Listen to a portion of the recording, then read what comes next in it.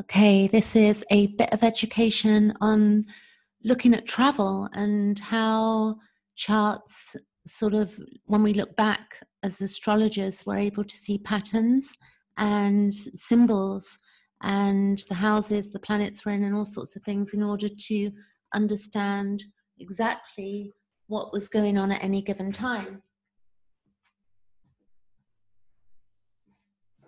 So you can see this chart here, and this is dated the 11th of September 2001.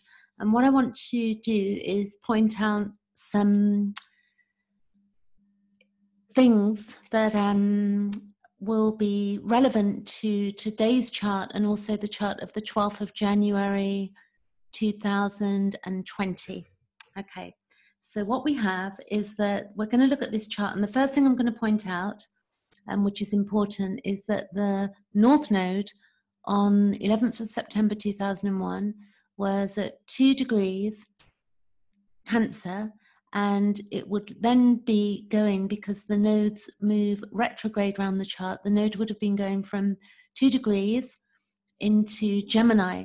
And we would have you know seen that happen within a few you know maybe less than a month of that two degrees so if we look over here if you can see my pointer and we look at the node it's two 15 degrees of cancer and this is what that node, sort of a node in Cancer, means. So the North Node in Cancer brings conflict between family and profession, home and public, proximity and distance, inner experience and external obligations. So it's about the need to find happiness in our families and spiritual life. And it's being interested in the roots and the nation and the homeland that we you know that we're in. And also it's about our feelings and our emotional needs. And it can indicate exaggerated ambition and external recognition instead of developing inner peace. So we're supposed to be developing inner peace when that moves through the sign of cancer and it would have started at 30 degrees and gone back to you know zero and then it moved into the sign of Cancer, I'm sorry, the, the sign of Gemini. So then what we're going to look at next is Pluto. So if you observe up here, Pluto at the time was in Sagittarius.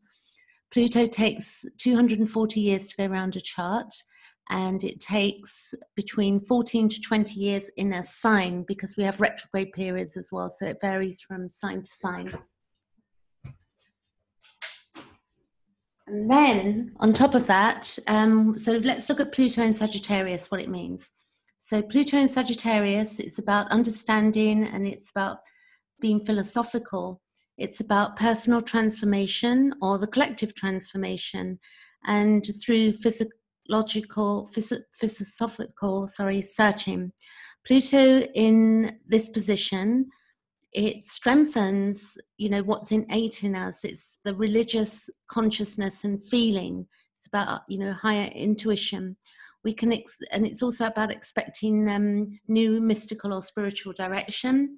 And it's about merging existing religions and churches. So it's merging us all together which is very interesting that pluto was in sagittarius at 12 degrees so then if you look opposite that and this is where it gets interesting that we have an opposition to Saturn in Gemini. So we're now going to look at what Saturn in Gemini means at that point.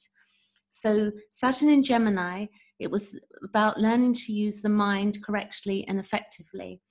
And it's about intelligence and literally, you know, it's about written as well, what's written and um, everything to do having a logical explanation.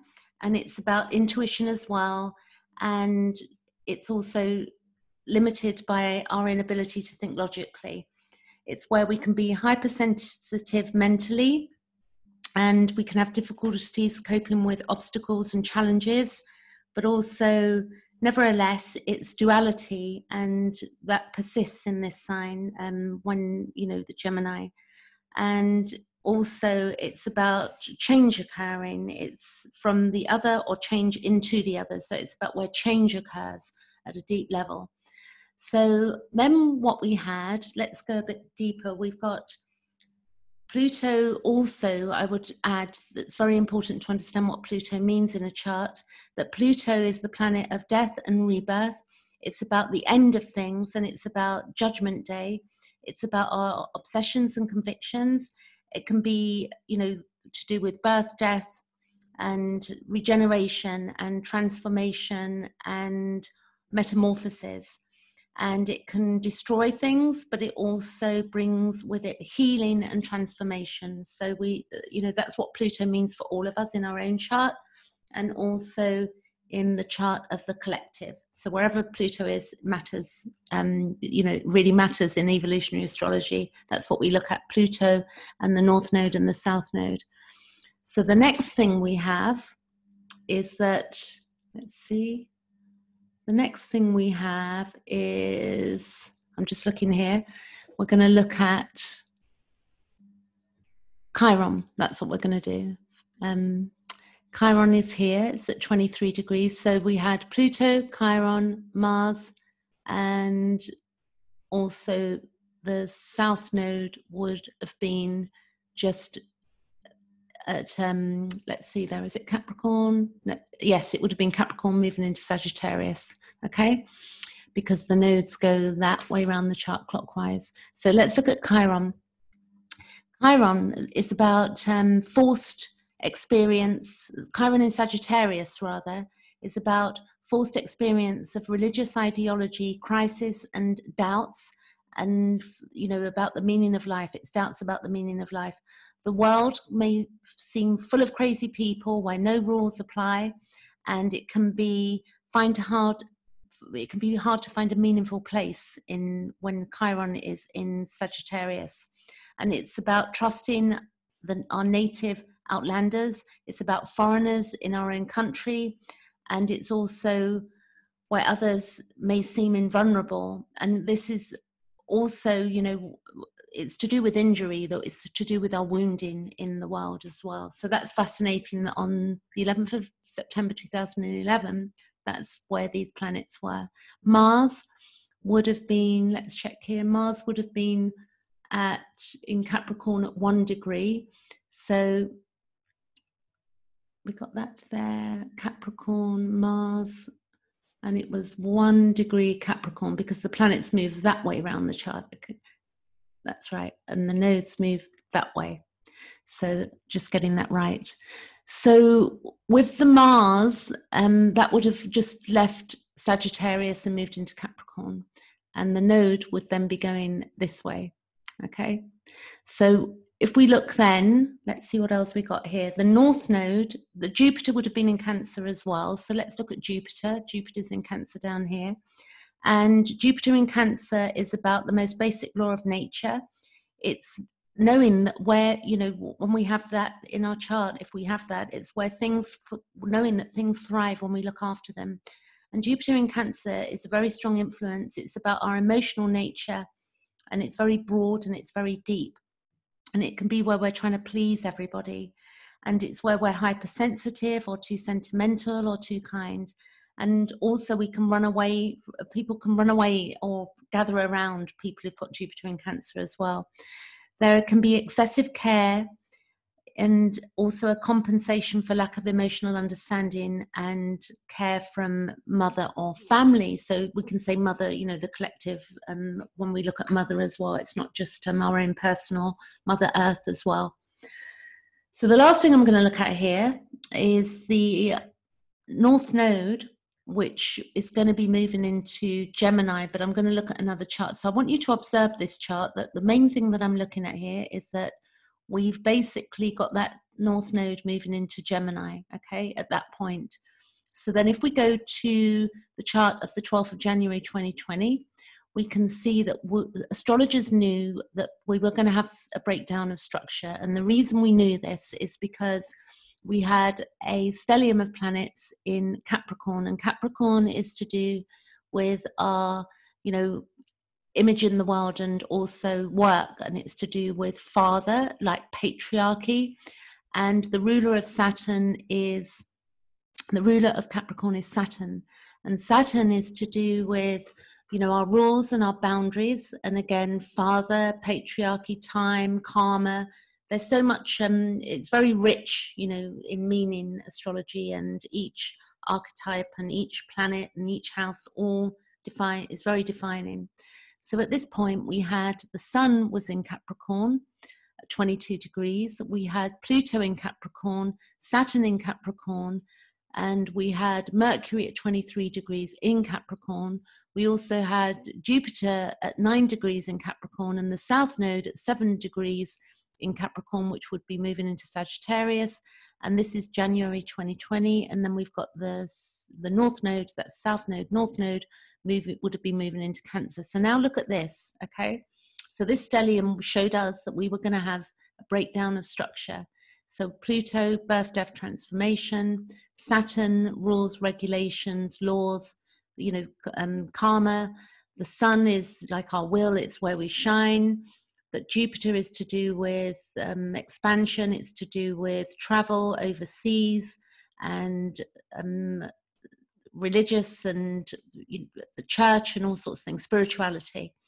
So there's a lot going on here that we could get into, but I'm not going to go deeply into this. I'm just going to explain that astrologers understood this. If you if you look at any videos, you know, look at the Pluto Saturn conjunction, it spells it out to you. So then we're going to look at the chart of today, and what we can see is that if you look, you can see that the South Node is about to move into Sagittarius, and the North Node is about to move into Gemini. So that was my point. So look at this chart and then if we go here, we've got the same thing going on 18 years ago, 18 and a half years ago. So we've got the node would be moving into Sagittarius and the north node moving into Gemini. So what does that mean? This is today's chart now. What's going on? So the north node in Gemini, it brings conflict between seeking objectivity and lively communication on one hand and clinging to a highly subjective understanding. It's where we're firmly anchored in our opinions and commands on the other. And it's where we learn how to express complex contexts and ideas in everyday language and how to convey spiritual thinking into practical life. And it's also where we transfer it in comprehensible form and show clearly the connection between the philosophical and the noble knowledge and values of everyday life and it's where we need to be aware of prejudices and stubborn beliefs. So this gets interesting because the node um, is about to move into Gemini. Now the point is, is that when I showed you that 9/11 chart, travel at that time was completely restricted. Um, you know, when 9/11 happened, there were new rules and regulations that came in. So up here we've got Pluto. Let's go back to the 12th of January. We had Pluto conjunct Saturn. So in the 9 11 chart, we have Pluto in opposition to Saturn. So we've got a similar theme going on, and also with the nodes moving. So as astrologers, we're able to look back at the configuration of a chart and understand what's going on now. So we can clearly see that as this node is about to move into Sagittarius, the south node, and the north node into Gemini, if I push this chart forward, let's go by one week to the, let's go back, we're going to go forward one week, sorry, to the 11th of May, which is a week away. No, the 11th of May is, no, this is today. Let's go, I'm going one day forward, 11th of May. We're going days forward. 12th of May, look, um, look at this node here. Now we're going to jump ahead a week. And this is AstroSeek, by the way, you can get your own chart here. So you can see that on the 19th of May, we're going to have a zero degrees in Gemini, that node, and we can see clearly that all of the travel is going to be restricted. This is what's happening, it's very real. And that node stays in a sign for the 30 degrees for a year and a half. And the south node will move into Sagittarius, which is travel restriction and it's changing belief systems to do with um, religious dogma maybe and you know, not all religion is dogma, but it's partly to do with the religious dogma. And we'll be looking at that and we'll be looking at what we believe and our belief systems. And we'll be moving into short travels and community and communicating with each other. So that's really all I wanted to show you today. So hopefully you've got something from that and you can see what I was speaking about there. If you've got any questions, you can comment below. And if you want a chart reading, then you can book with me. You can see my link below as well. Thanks for watching this. And if you like the video, give me a thumbs up. That would be really great. Catch you later. Thank